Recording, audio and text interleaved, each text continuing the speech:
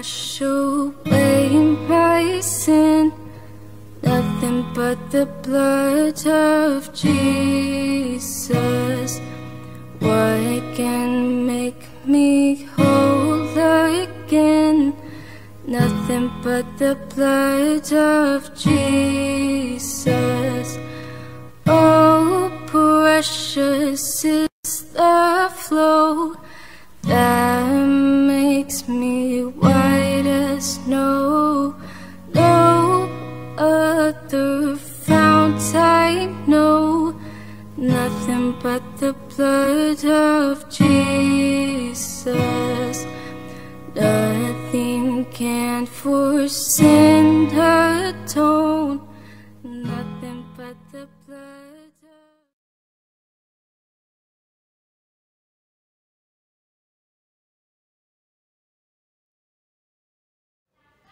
Good morning. Yeah, welcome to Peace Evangelical and Reformed Church. We're in the month of June already. It's crazy how fast this year is going by. But we're here to begin the month the way we begin all of our weeks with worship, with giving glory to God. And as we begin our morning service, we have some announcements to highlight. First, we have some anniversaries and birthdays in the Peace Church family. Anniversaries this week. Hank and Tammy Gillig have an anniversary, Brian and Julie Schmidt, Steve and Judy Gazer, Chad and Jamie Lurkey, Mitch and Haley Gritt, Luke and Mariah Fisher, Arlie and Jane Furman, and Ken and Sherry Hintz. Happy anniversary to all of you. With anniversaries. And we have some birthdays in the Peace Church family this week. Um, Carol Eckley has a birthday. Erica Hutterer, Luke's wife, has a birthday. Jamie Weezy has a birthday. Leah Stecker, Ryan Strazeski, and Mara Stecker turned 17 this week. So happy birthday.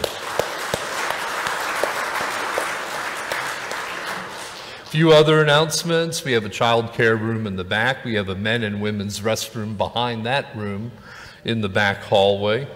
Also, Vacation Bible School is July 11th through the 15th at Camp Forest. Please have your children registered by Sunday, June 12th. Res registration forms are on the counter. We have an electronic recycling event Saturday, June 25th here in the parking lot, looking for two teams of helpers, one working from 8 a.m. to 10 a.m., and then another team from 10 a.m. to 12 noon. Proceeds are going to support the Peace Church Youth Group. Operation Christmas Child Shoebox Gifts. Our supplies for this program are low. We need help, and a list of the items we need are in the bulletin and on the church website. And also save the dates for our 17th annual Gospel Fest, August 19th and 20th. And now we're moving to the part where we want to recognize and honor our graduates. We have six students from Peace Church that have or are graduating high school. Um, the first person that I would like to stand up is Sadie Bartles. Sadie is graduating today from Chilton High School. She's headed up to Michigan Technological University, majoring in wildlife ecology and conservation. Sadie, congratulations.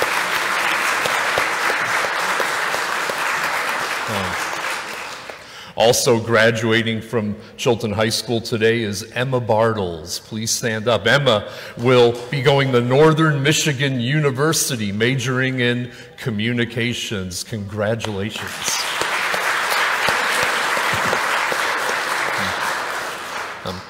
Um, graduating from Hilbert High School. They just had the ceremony. Griffin Keys, please stand up. Griffin is going to be attending Northeast Wisconsin Technical College for graphic design. Griffin, congratulations.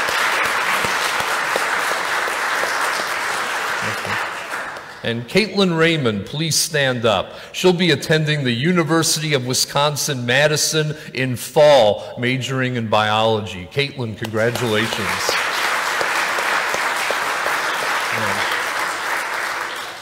And Parker Kleppen will begin his apprenticeship with Furman of Brillion to become a plumber. I don't know if Parker's here today, but Parker, congratulations.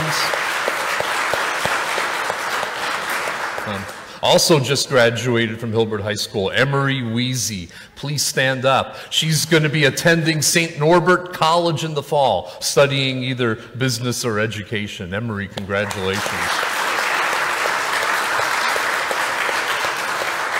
Yeah. And all of those graduating were active and involved at different times all through high school in the Peace Church youth group. So we've been allowed to share with your joys and your accomplishments all through school. We love you guys and congratulations from Peace Church, your church family. And also at this time, I wanted to recognize all those of you who teach, those who teach in the public schools. And um, Jeannie, did you have a question? Okay, we'll do that next. Okay, at this time, I, I wanted to recognize all those of you who teach public school, private school, and or teach here at the church. As you know, teaching's not an easy job. I studied to be a teacher and was a teacher before I became a pastor, so I'm, I've got your back. I totally get it. It's, a, it's an all year round job, and you take your work home with you. And the last two or three years have been particularly difficult with the pandemic, with the changes in culture, and all the things going on in the world. We want to recognize you. All those who teach, please stand up. Oh, I'm Barb, yes. Yes, and those who teach school at home, homeschool teachers, please stand up so that we can give you our love and a round of applause. Thank you.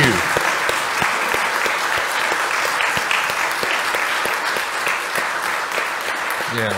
Thank you for giving to the Lord. We also have college graduates in the Peace Church family. Amber Hanson graduated from Mid State Technical College she did the 720 hour police academy program. This is part of her four year degree in conservation law enforcement. So she's going to be a law enforcement person. So, congratulations to Amber.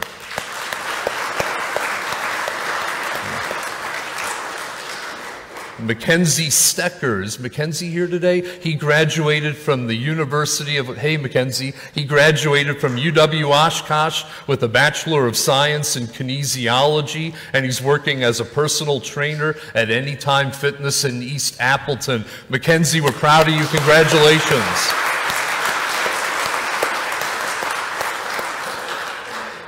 McKenna Keys is with us today. She finished with in school learning. McKenna, please stand. And at Concordia University, she now has six months of clinicals and field work and will graduate with her master's in occupational therapy in December.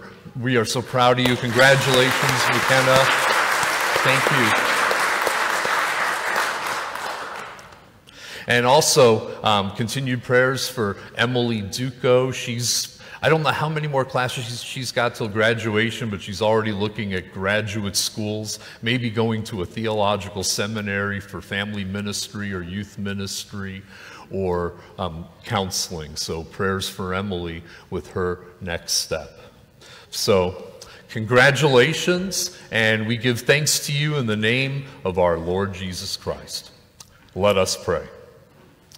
Father, we thank you for our graduates. We pray your hand of guidance and blessing upon them as they go forth in the name of Jesus, representing the kingdom of God to the colleges that have been picked out for them. Help them to do their best at their studies and we pray that you would provide for all of their financial and social and academic and spiritual needs in Christ. And we thank you, Lord, for our teachers. We thank you. It hasn't been easy. To, it's never been easy to be a teacher, but the last two or three years have been particularly difficult. We love and appreciate them so much. We ask that you continue to provide for them, give them grace and strength. In the name of Jesus. Amen.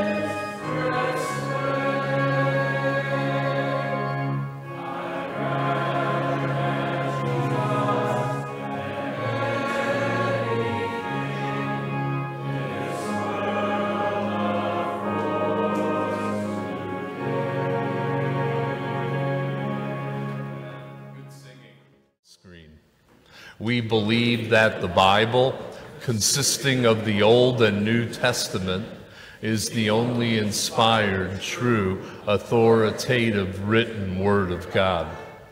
We believe that there is one God, eternally existing in three persons Father, Son, and Holy Spirit. We believe in the deity of Jesus Christ, his virgin birth, his sinless life, his miracles, his atoning death, his bodily resurrection, his ascension to the right hand of God the Father, and ultimately his personal return in power and glory. We believe in the present ministry of the Holy Spirit, whose indwelling power and fullness enables the Christian to live a godly life in this sinful world. We believe that water baptism and the Lord's Supper are sacraments to be observed by the Church during this present age.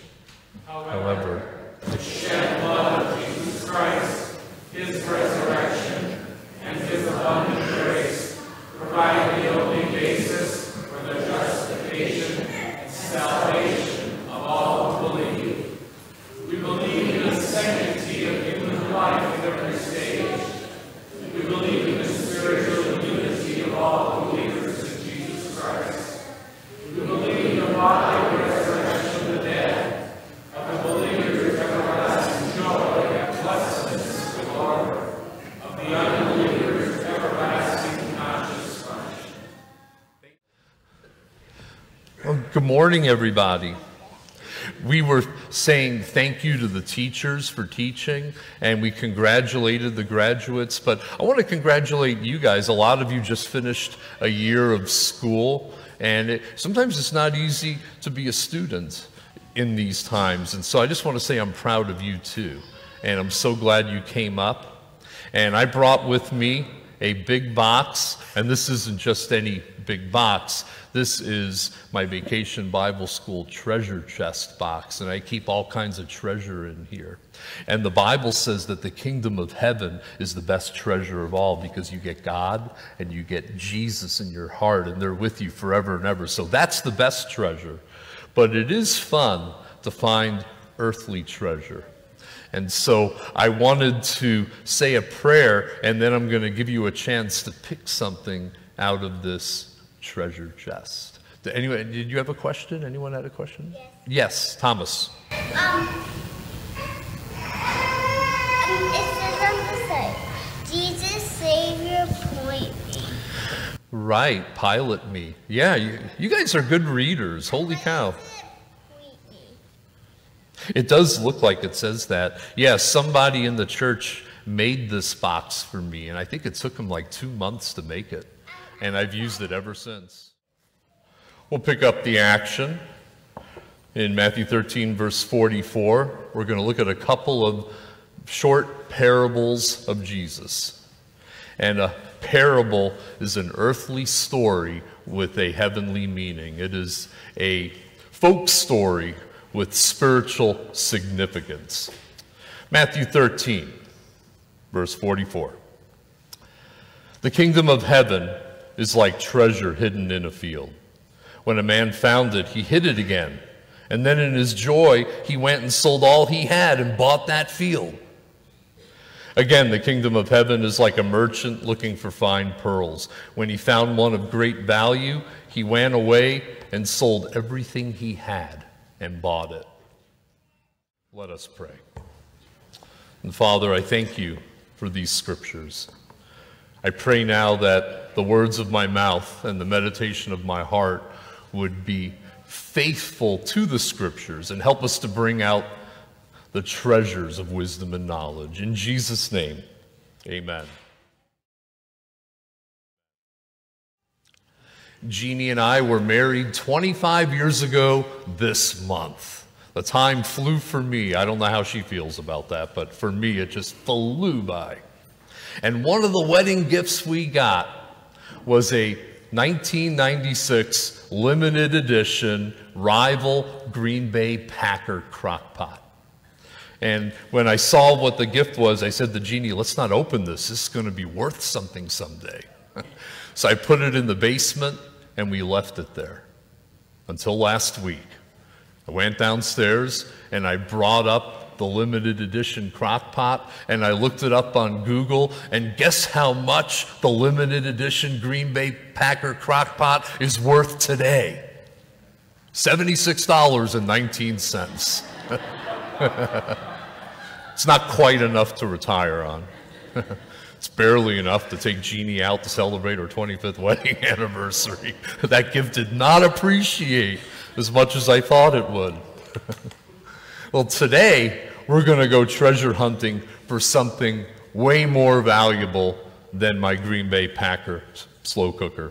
Way more valuable than anything you can buy on Amazon. We're going to see that the kingdom of heaven is the treasure.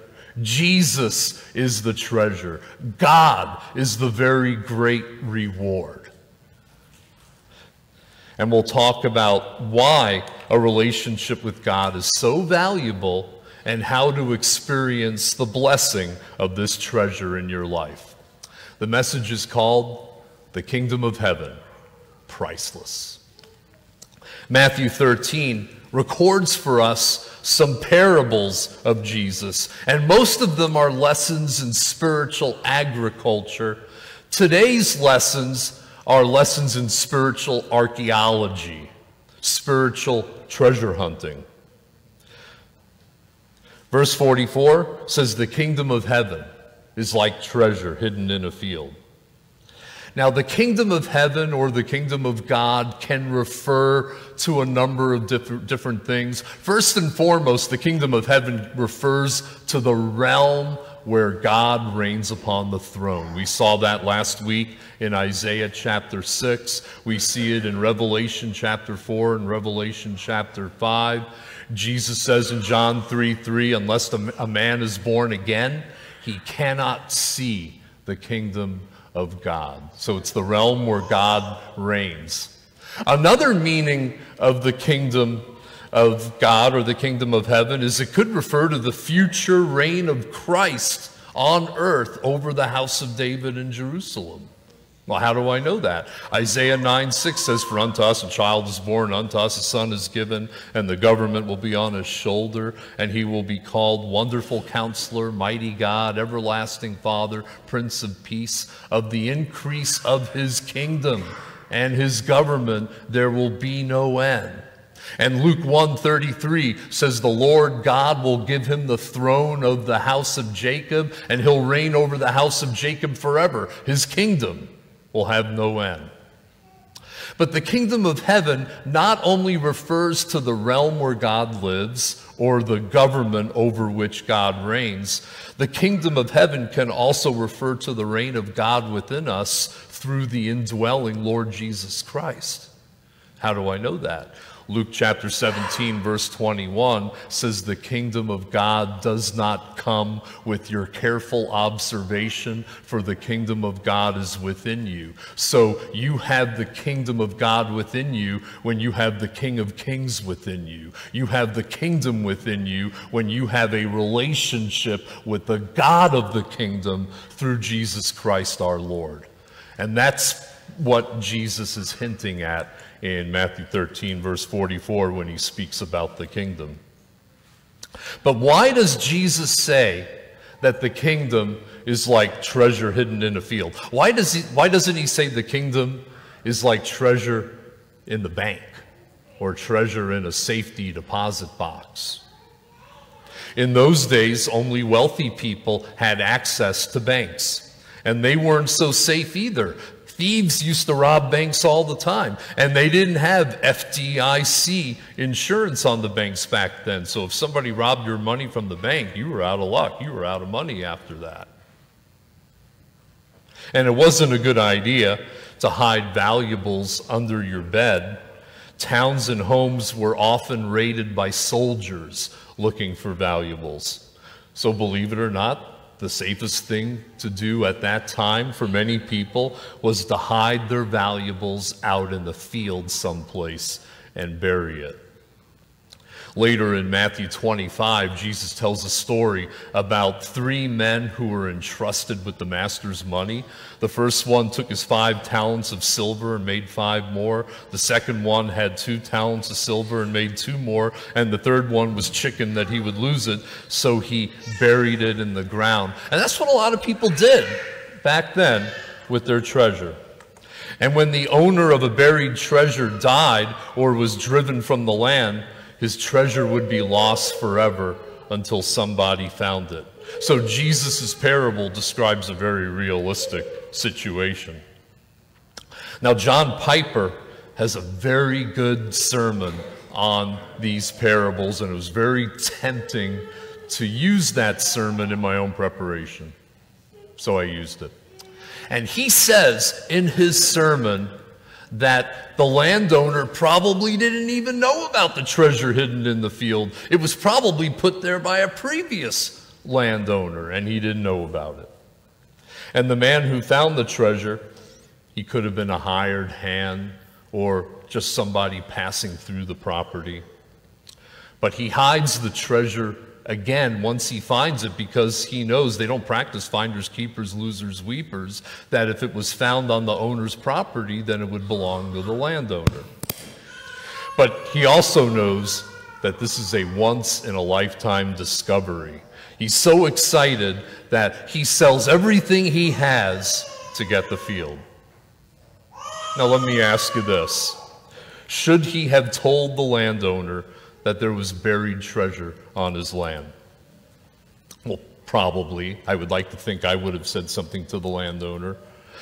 But there are other unanswered questions that we just don't know about. Who is the finder? What is he doing in the field?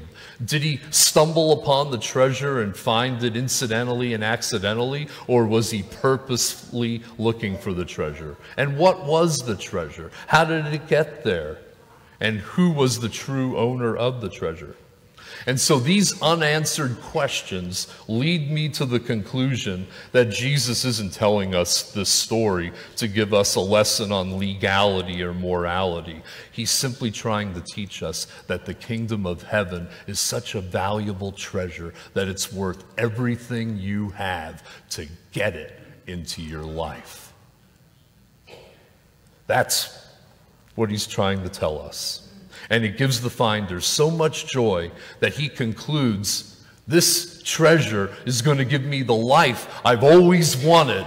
I got to have this treasure. I got to have this land. I'm going to purchase this field. I want you to know that on September 13th, 1985, I bought the field. I got the land. I received God's kingdom into my life through faith in Jesus Christ, and my life has not been the same since. Coming to Peace Evangelical and Reformed Church was the third best decision I ever made with my life. Second best decision was when I married Jeannie Stecker.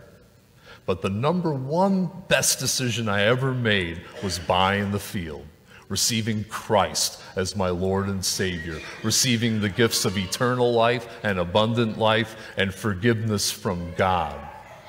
And that is the best thing. And if you receive Christ as your Lord and Savior, if you buy the field today, it'll be the best thing that you've ever done in your life. Some of you are stumbling upon this treasure right now. You're just finding out about the treasure by listening to this sermon. Others of you have known that there has been treasure in the field for a long time. But don't you think that now is the time to open that treasure? I mean, the kids were just up here. They took full advantage of the proximity of the treasure box to take the treasure that was going to bring them joy. That's what God wants us to do. He wants us to receive the treasure of a relationship with Him with great joy. And He doesn't want us to put it off. He wants us to take advantage of having the treasure with us right now through faith in our Lord Jesus. The kingdom of heaven is like treasure hidden in a field. Then in verse 45, Jesus says the kingdom of heaven is like a merchant looking for fine pearls. The merchant was a man who would buy things wholesale and sell them to a retailer. In the parable, he's not looking for just any pearls, he's looking for particularly fine pearls. In those days, they were the most valuable gem in the world. If you owned a pearl, you were rich beyond the dreams of avarice. Pastor Brian Bill says pearls were not easy to come by. Pearl divers would dive deep into the Red Sea or the Indian Ocean or the Persian Gulf. And one of the reasons why pearls were so valuable is that divers often dived looking for them. They didn't have modern diving equipment like we have today. They would tie ropes around their waist with heavy rocks and they would sink as far down as they could go to find the oyster, hoping that their feet didn't get stuck in the mud while they were going down there looking for oysters. And only one oyster in a thousand had a pearl. So it was extremely difficult to get a hold of one. That's why they're so precious. And the Bible talks about how precious pearls are. In Revelation chapter 21, it talks about the New Jerusalem and the streets of gold and the gates made out of pearl. And Jesus says in Matthew 7, verse 6, that when you're talking to somebody about the gospel, to do not give to dogs what is sacred. Do not throw your pearls to pigs. Don't give your precious pearls of gospel wisdom and knowledge to people who are just going to make fun of it, deride it, and not want to have anything to do with it. Save those for people who are truly interested. Jesus says when this merchant finds a pearl of great value, he goes away and sells everything he has to get it.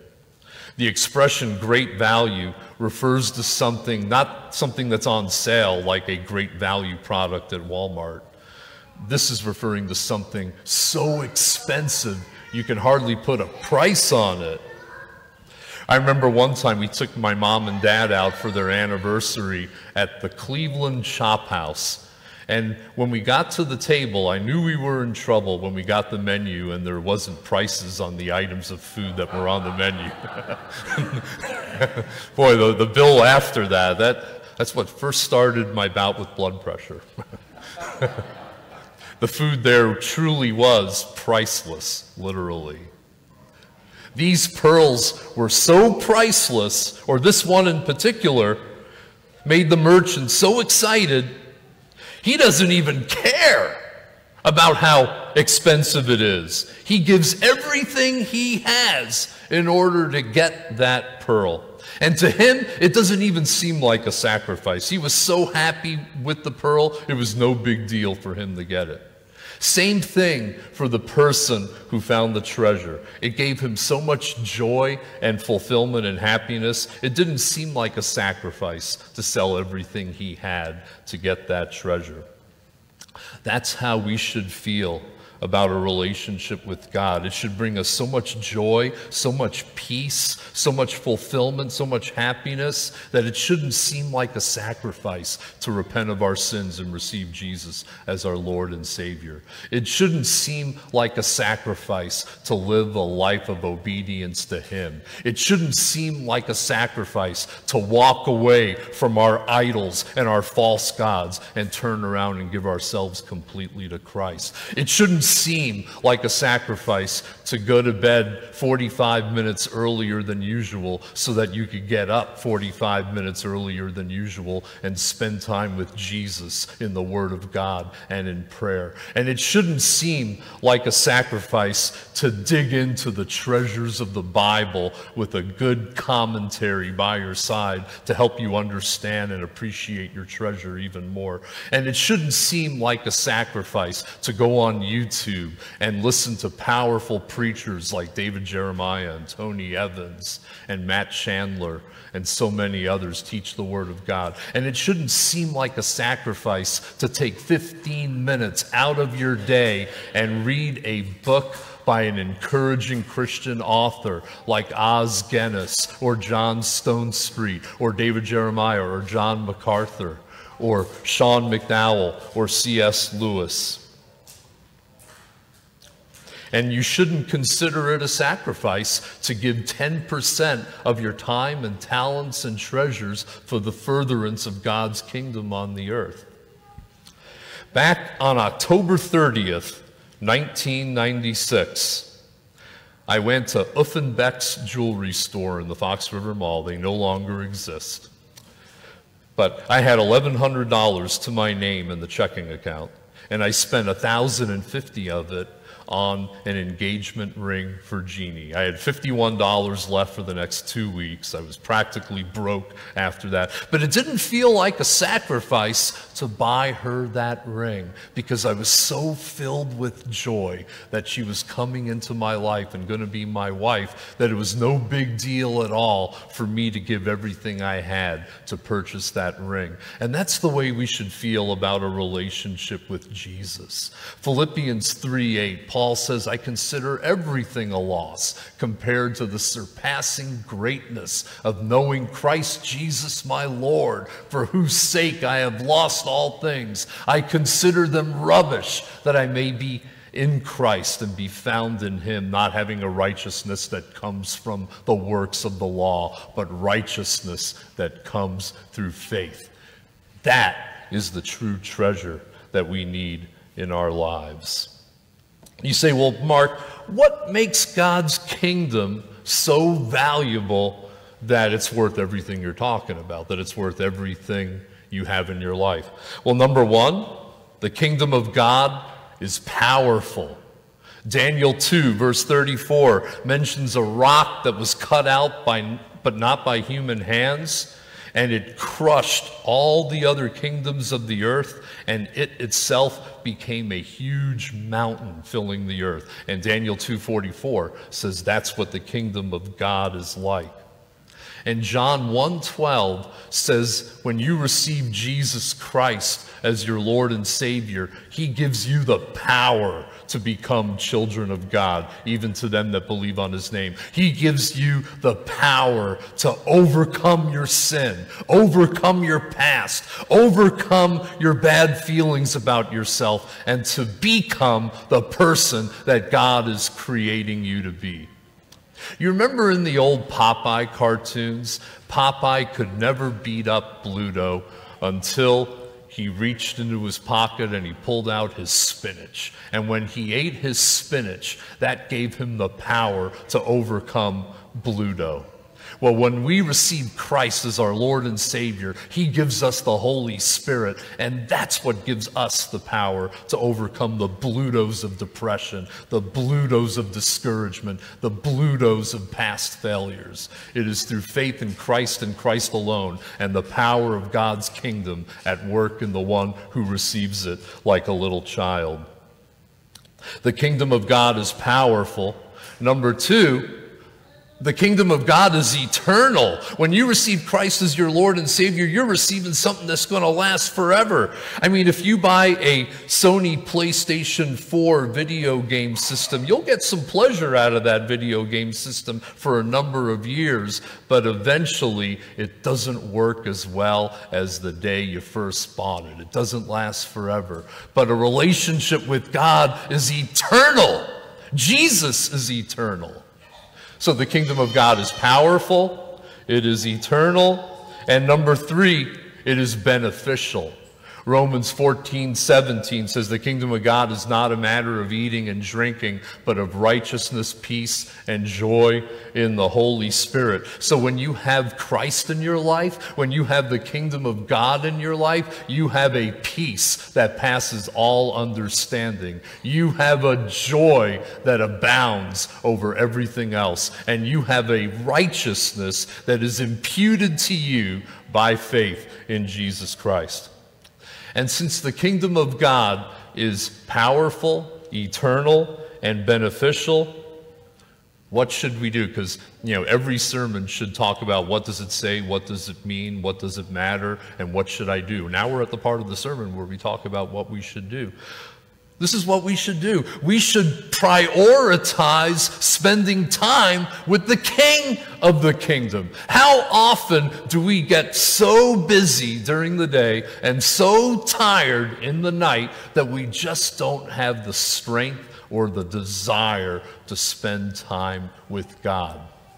We need to change our priorities and schedule that time with God. As you get older, one of the things you realize is if you don't plan it, it's not going to happen. If you don't schedule it, it's going to get forgotten and you're going to be overwhelmed by the tyranny of the urgent. So you need to make that time with God and break open the Bible. Get yourself a study Bible because it's got notes to help you understand it. Spend time with your treasure. Just as a video game person loves to spend time getting to know the treasure of his video game system, we need to spend time getting into the treasure of God's Word, experiencing the riches of his kingdom in our lives. And if you're not a Christian, today's the day to take that treasure into your life. Give your life to the one who gave his life for you and offers you grace and forgiveness and a life with purpose. Jesus loves you. This I know, for the Bible tells me so. Amen.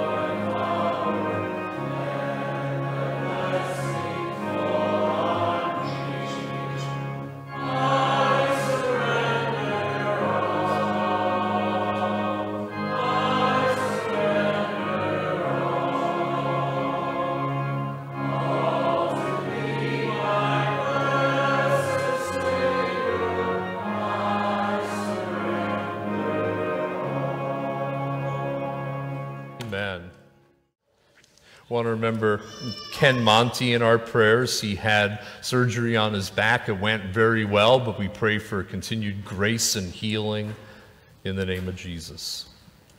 And for Lori Krieger, healing from ALS. Lori Nooshart, healing from cancer. Let us pray. God, I remember the scene in Revelation 8 where the angels carry the bowl of incense filled with the prayers of the saints. And I almost feel like that, that we've got this big bowl of prayers that we're bringing before you. Lord, we pray for Ken Monty for healing from his surgery and for relief from any back pain he might have experienced. For Lori Krieger, for ALS to be stopped in its tracks and for her to live a full life for Lori Nooshart, for her cancer to be knocked into permanent, lifelong remission. Pray for comfort for Jamie Lurkey and her family. We heard about her grandpa's passing. May she know the comfort of Jesus. We pray for all those grieving and mourning the loss of a loved one that they may know the comfort and consolation of Christ. We pray for Brody that Brody Gensky, Nancy and Dennis Schwalbe's grandson, he's having his tonsils out on Tuesday. We pray that that surgery goes really well and he'll be able to come home the same day. Pray for Tom Bear's mom battling back problems. Pray for healing and grace for her. For Ron Kleppen, June's brother, he's going to be starting treatment for his cancer tomorrow. We pray, God, that the treatments will successfully knock the cancer into indolence and remission. Pray for um, John Holshoe's friend's family. His friend Ken passed away. May they know the peace and the consolation of Jesus. We rejoice with Carol Eckley as she turns 94 years old in a couple of days. We pray for Sherry Walber's step-niece Tasha, who's having surgery for cancer, surgery on her spleen and pancreas. May the grace of the Lord Jesus Christ and the healing power of God be with her. We pray, Lord, for all the unspoken prayer requests around the room, that you would be close to the brokenhearted and save those who are crushed in spirit. Be with our leaders, help them to make wise choices, and we pray that you would raise up people who are God fearing and are compassionate and will make wise choices. We pray that you would reign sovereignly over the kingdoms of men. We also pray for law enforcement, for our military, for teachers, for those who are in service ministries, EMT firefighters, paramedics, and pastors and teachers. Watch over those who watch over us. Most of all, God, we thank you for Jesus, who taught us to pray the Lord's Prayer, saying, Our Father, who art in heaven, hallowed be thy name. Thy kingdom come, thy will be done, earth as it is in heaven. Give us this day our daily bread, and forgive us our debts, as we forgive our debtors. And lead us not into temptation, but deliver us from evil. For thine is the kingdom, and the power, and the glory forever. Amen. As the ushers come forward, we'll take up the morning offering.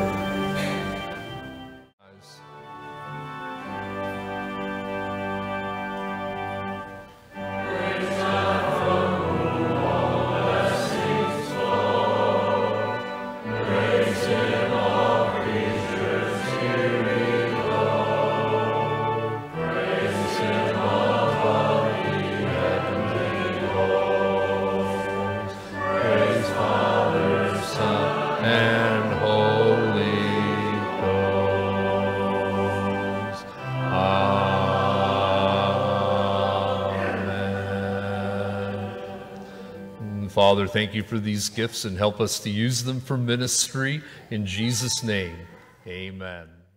And this table is open to all. who confess Jesus as the Christ and seek to follow Christ's way. In Luke's gospel, we read that Jesus, at the table with two of the disciples, took bread and blessed and broke it. When he gave it to them, their eyes were open and they recognized the risen Christ in the breaking of the bread. In the Acts of the Apostles, we read that the church was gathered often in the homes of believers. They devoted themselves to the apostles' teaching and to the fellowship, to the breaking of bread and to prayer. Jesus, the bread of life, we gather at your table to know you in the breaking of the bread. God be with you. Lift up your hearts. Let us give God thanks and praise. Holy God,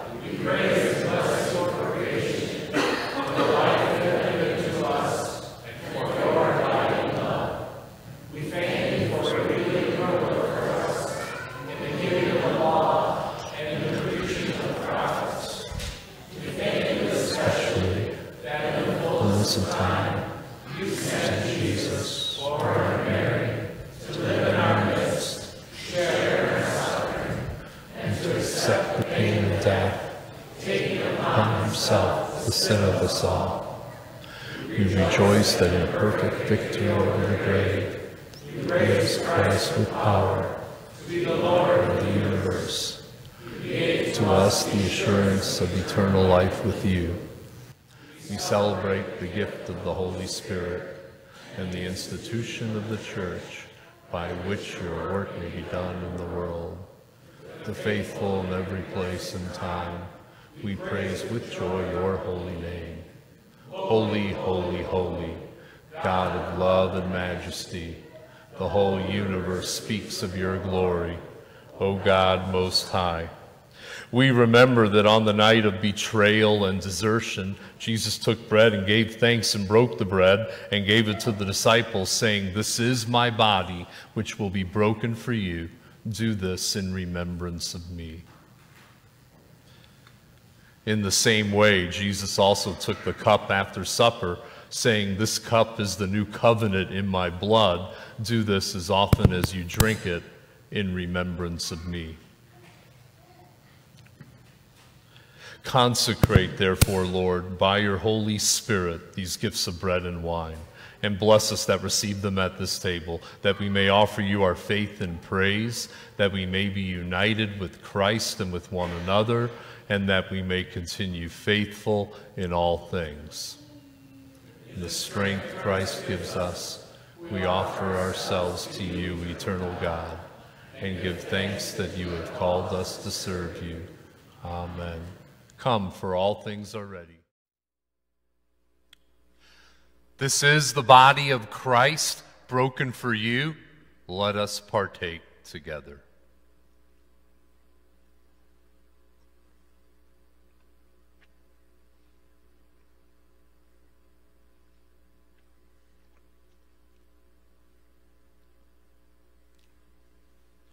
This is the blood of Christ poured out for many for the forgiveness of sins. Let us partake together.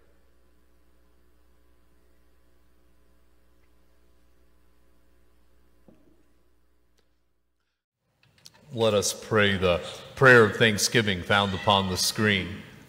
We thank you, Almighty, everlasting God, for inviting us to this table where we have known the presence of Christ and have received all of Christ's gifts. Strengthen our faith, increase our love for one another, and help us to praise you with our lives. We pray in the name of Jesus Christ, our Savior.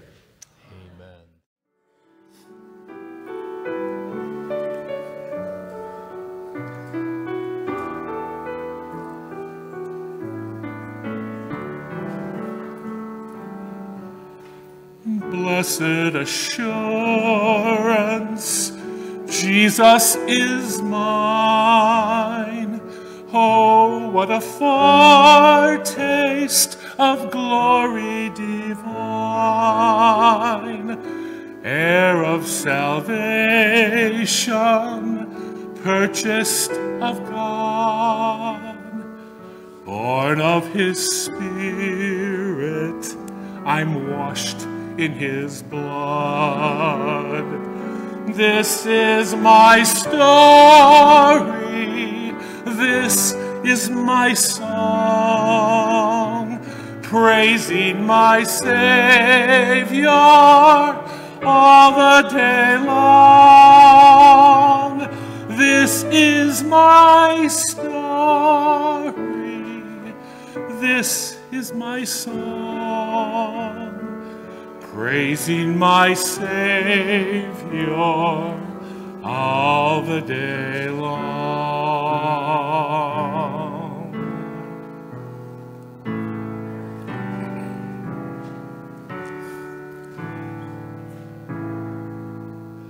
perfect submission. All is at rest. I in my Savior am happy and blessed, watching and waiting, looking above, filled with His mercies lost in his love. This is my story. This is my song. I'm praising my Savior all the day long. This is my story. This is my song, praising my Savior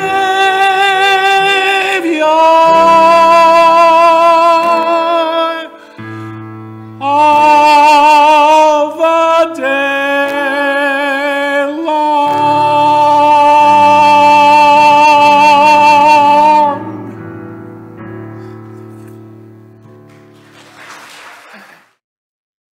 I want to leave you with this word of blessing.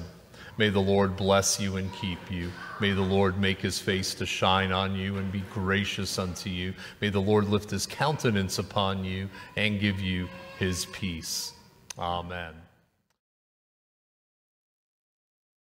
What can wash away my sin?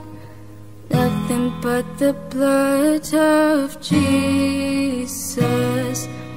What can make me whole again? Nothing but the blood of Jesus. Oh, precious is the flow that makes me white as snow. No other fount I know, Nothing but the blood of Jesus. Nothing can for sin atone